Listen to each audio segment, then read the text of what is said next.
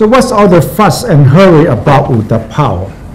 Last week, in fact, a few days ago, Foreign Minister Surapong was in Washington meeting Hillary Clinton. Yes.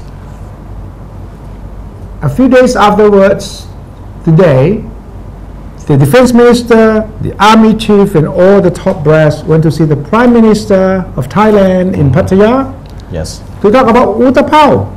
Despite the fact that the government has been claiming all along that this has nothing to do with national security, but today activities, uh, uh, defense minister is there Yeah. also, and uh, Prime Minister Yingluck also meeting uh, a lot of uh, senior military officials. So um, What, what is the concern about? Why, why are they making all this fuss about Utapao? Because Uh, maybe- if it's humanitarian assistance, right. Should be normal. It's a civilian sort of thing. Defense, um, sorry, uh, Foreign Minister uh, Kun Surapong, he suggested that all these fuss today, all the activities today have to do with uh, political concern because uh, he said the opposition has been blowing the issue out of proportion Yes. uh, for political purpose. So Uh-huh. he said that the meeting and every activity is uh, intended to tell the public that That is nothing military. There's nothing to worry about. Right, it's nothing military. The NASA request Mm-hmm. and the Pentagon's request are totally separate. Well, yeah, see, uh, he said, uh, Surapong said that uh, the, uh, NASA did the same thing with China and Hong Kong, and uh, something was set up in Hong Kong, and China didn't say anything about it. And he also said that uh, NASA was really interested in Utapao because of it has something to do with the, the orbit of the satellite. This is Utapao was in a good uh, position when, when satellite orbit is concerned. That's what he said. And he also said that um, the cloud does uh, examination uh, that should be conducted in the coastal army base, uh, military base, that is easier to do. And he also said that uh, they need, uh, the Americans need Utapao because the, uh, the runways, they have the Ah, runway there ah. for, for the plane to land and to take off. So You mean for NASA or for the humanitarian assistance Yes, uh, for all the activities, they, they need some. So they need a some for the- good long runway. Yes, for the plane to land and take off. That's what Wow, he you have Don Mueang.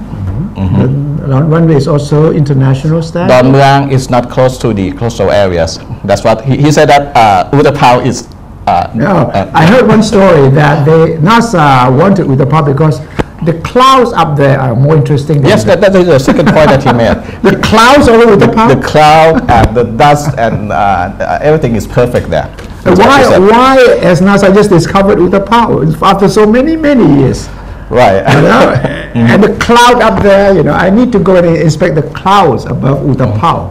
I don't think the clouds over Utapao are any different from the cloud over Suvarnabhumi or Mm-hmm. Don Mueang Airport, or Singapore for that matter. Right. Well, well from, from, from all the uh, inside sources that we have been talking to, it seems out of the question that this is the issue that goes beyond just a scientific uh, matter.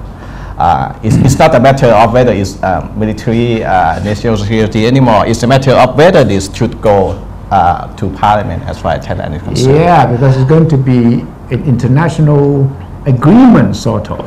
Yes. Um, uh, Foreign Minister Surapong said that the Council of State had been consulted and um, it's, it's not clear whether uh, the Council of State has already made its stand Council this. State? Uh-huh, uh-huh. Um, he said that that would be taken into account when the cabinet tomorrow uh, has a meeting on this.